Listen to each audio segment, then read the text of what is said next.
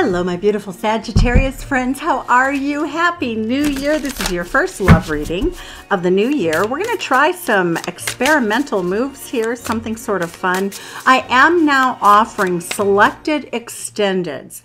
I will choose the extended readings for only those readings that are very complicated and very difficult to sort for your viewing, okay? So I just did a Leo extended. I did not need to do an Aries extended. So just to let you know, you'll always find the link in the top of the comments. So let's look and see, cut the deck here and see what your overall energy is. Sagittarius in love. We have the Seven of Cups. Okay, so you have options. You haven't made a choice. The overall energy right now for you and a love interest is, you know, to stay sort of open to whatever you decide to do. So, what we're going to look at is we're going to look at your energy, your lover's energy. We're going to look at your actions, your lover's actions. We're also going to look at that which is hidden between the two of you and your outcome short term. Okay. So let's take a look and see what we have. So we're looking at the energy of the Page of Wands. Is your energy, this is a new deck, so I have to look very closely at the cards. Eight of Pentacles is your person's energy. So you're throwing caution to the winds. It's all about fun. You're not taking anything too seriously. Your partner, however, Sagittarius, is more invested than you are. The Eight of Coins is a high level of investment. They want to get to know you better. They want to have build a foundation with you. They want to give you a sense of security. And you're just in this very playful mood. Well, you know, let's put on capes and just have some fun do some dress up. okay, Sag, I'm just going to leave it there. It's kind of funny. All right. Now, Sagittarius, what I see in terms of your actions are the Eight of Cups. You may simply not have that much interest in this person who seems to be more interested in you. The High Priestess, okay, so we see a person who is very quiet, very secret, very, doesn't really open up very easily. Very intuitive person, though, very intuitive energy. When we look at the what's hidden between the two of you, one or both of you is in this energy of needing to heal. The outcome is a new beginning. So very interesting. So we're going to go ahead here and we're going to look and see. We're going to clarify this playful energy that you're bringing in. I'm going to pull three cards for that. Okay. So your energy of playfulness is really Page of Pentacles. Let's just keep it light till we know what's going on. It does show the Seven of Wands. You know, you're holding back. That's you being a little bit defensive. You know, stop in the name of love. So it looks like you could be healing, but look at this. You really are a very loving person. Not that we ever doubted that, but this is Scorpio energy. You're really in a good place. You're very calm. You're very cool. The waters around you are very calm. You feel good about you. And so you're not really worried about the future too much. So you're in that good energy, you know, again, healing energy, and you know, you're okay. You're you're good. Okay, so let's see why my phone is ringing.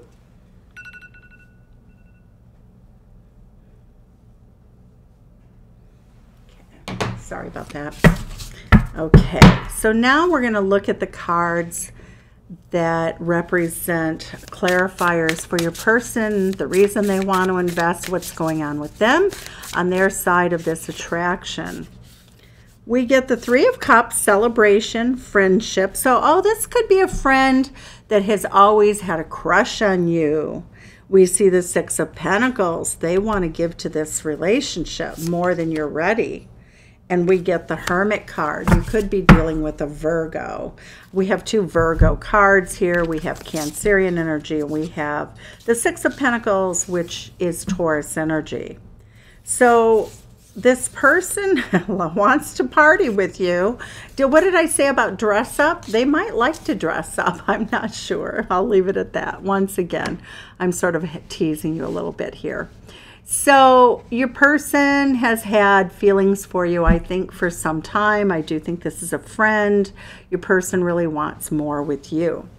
Let's see what the energy is here. Eight of Cups says that, you know, it looks like your feeling is your the action you're taking. You might actually be in the process of moving. For one or two of you out there, that could be the case. Look, at you have your bags packed, ready to go. I just feel like this is sort of a very novel, kind of a, not a very serious or has never really been, or it's a brand new connection that you really are not counting on. Hanged Man says you're looking at things from a different perspective we have the Knight of Cups. You are feeling more romantic than you thought you would, but you are still having trouble with healing from an old relationship. You're not ready yet, is what I'm getting. So let's look and see what the High Priestess is. Your person is sort of just waiting for you. They want to offer one of those apples up to you. Okay, so what do we have here? We have the King of Swords energy. So your person is very much and an energy that speaks to the fact that they're very clear about what they want. They know who they are. They know what they bring to the table. Three of Pentacles, they want to invest. They This person wants to invest in you. They want to have a collaboration. Five of Pentacles says that they feel left in the cold by you. All right, so let's see what we have here for the Six of Swords energy. It's interesting. I don't oftentimes get readings where the sun sign that I'm reading for, sun, moon, rising, or Venus, is not really that interested. Interesting, Sag. Leave comments below. Tell me where you're watching from. But what Six of Swords says you're healing. And it shows a magician. Look at that. Having all the tools you need. King of Pentacles. So what I'm seeing here is that you very much are looking for a specific profile for a partner this person may not meet that criteria. Um, I'm feeling very much the Ace of Cups that at the end of the day, you may be waiting for somebody to return. You are keeping your options open. Now, your person really wants to have this relationship with you. So let's see what their energy, well, let's go, let's look at their healing energy also because that's what's hidden between the two of you. How are they in terms of healing? Queen of Cups energy, so they're ready to love. Whoa, Lovers card. They are more than ready to love. They want to make the choice. Nine of Wands, they do feel very burdened at the fact that your person may have a lot of responsibility. We see like a mother listening to children fight. She looks like she's single. So what I'm getting here is that your person may be more into you because they're they have more of a sense of need. Um, I don't feel that they're fully healed. They are healed possibly more than you are. But you have a much clearer idea. You look like you're happier and more stable than your person. So they may be trying to fill the gaps. They may try, you know, they're trying to sort of fill the void, you know. I think that they need help with this energy here of being overwhelmed. Why do we have the Fool card? The Strength card. So your person's pretty adamant about this. The Eight of Wands, they're going to chase after you. That's Sagittarius energy. And the Six of Cups, this is somebody you've known a while. We've gotten the Six of Cups twice now. Or the uh, the card that says that you've known each other, that you're friends. Three of Cups and Six of Cups. So I'm getting this energy that really says that you're you're still, you know what you want, and it doesn't seem to be this person. Okay, so let's look and see how you're hoping this turns out. Let's see the outcome for you. What's the outcome for you specifically, Sag? What is your desired outcome is what I should say. What is your desired outcome with the situation? Wheel of Fortune. Well, you want the Wheel of Fortune to turn in your favor. The Emperor card. See, you're looking for somebody who I think is more of a leader Yep, Father of Pentacles. So what I'm seeing here is that though you like this person, though you find it, they're kind of fun to hang out with. I, you know, I still get that Eight of Cups energy. You're keeping your options open. The Ten of Swords energy says for them that they feel defeated.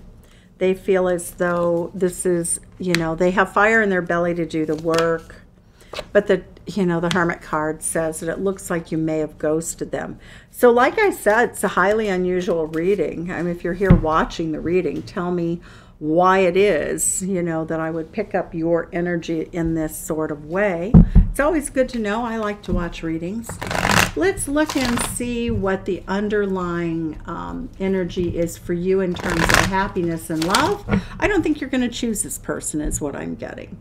What is it that you are hoping to receive in love? Heart of the Faerie Oracle. Okay, we have, well, somebody who does not show their big behind. I'm absolutely, now you may be hoping to have someone return that you think was showed their big behind. The Ace of Cups, the King of Pentacles, and the Magician card says that you are trying to manifest somebody back, and it might be somebody who was not so great.